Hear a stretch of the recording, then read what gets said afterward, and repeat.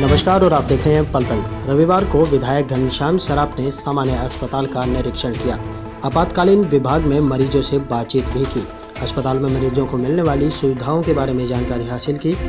साथ ही चिकित्सकों से मरीजों के साथ गलत व्यवहार न करने की नसीहत भी दे डाली। साथ ही कहा कि मरीज़ अपने पहले ही बीमारी से परेशान होता है और ऊपर से चिकित्सक द्वारा व्यवहार गलत हो जाए तो मरीज़ की हालत और नाजुक हो जाती है। शराफ ने मरीजों के बाहर से दवाई मंगवाने के बारे में भी पूछा, लेकिन अधिकांश ने अस्पताल के भीतर से ही दवाई मिलने की बात कही। इस दौरान एक मरीज़ ने कहा कि यहाँ पर ठंड काफ़ी ज़्यादा लगती है, जिस पर विधायक ने ज़्यादा ठंड होने की वजह से मरीजों को हीटर लगवाने के आदेश दिए। इस दौरान करीबन आधा घंटे तक विधायक ने मरीजों का हालचाल जाना और चिकित्सकों को मरीज़ की बेहतरीन सुविधाएँ उपलब्ध करवाने के लिए आदेश भी दिए।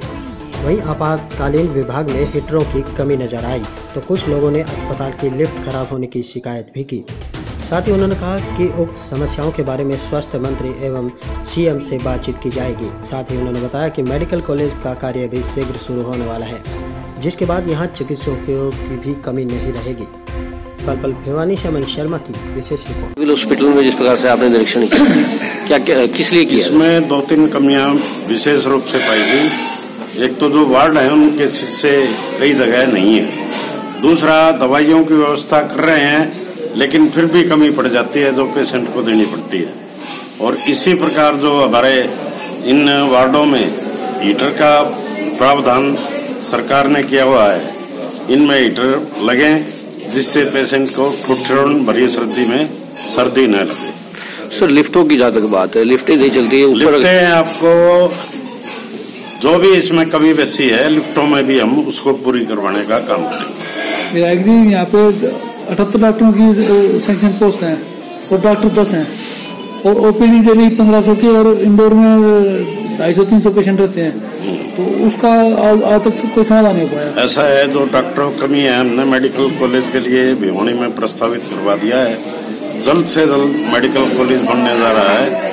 उसके बाद अपने पास जो भी बच्चे हमारे इस प्रोसेस से गुजरेंगे जो डॉक्टर बनेंगे मेडिकल एक्सपीरियंस वाले भी बच्चे यहाँ काम करेंगे जिससे हम डॉक्टरों की कमी को पूरा करने का काम करेंगे ठीक। है सर जो शीशे टूटे हुए हैं या फिर हीटर की जो व्यवस्था वो कब तक पूरी होगी ताकि मरीज़ ये जल्द से जल्द मैं इन व्यवस्थाओं को पूरा करवाने का काम करूँगा। यदि पेशेंट खुश रहेगा तो आपकी बीमारी को कैसे सर ये इनके साथ जो आप इस सिस्टम में थोड़ा सा आप आज की घटना देखी नहीं सर सर बुला के मेरे को डांट मरवा रहे हैं नहीं नहीं आपके साथ जो था जो आपके साथ भाई साहब आए थे आप उनको बुलाओ मैंने आके अटेंड किया था नहीं आपके पेशेंट को आप उनसे पूछो मैंने आपसे आप पहले उनसे कॉल इनके पास थी मैं भी सुन रहा था